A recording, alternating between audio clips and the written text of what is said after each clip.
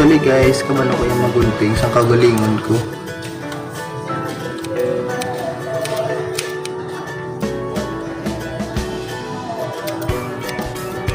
Natuto akong gumunting, gumunting, magupit sa magulang ko, sa eldest sister ko. Second, eldest sister. Sa kanya ako natutong gumupit. Kasi nag-aaral siya sa Manila ng barber. Kaya, nagpaturo ako sa kanya. So, yun.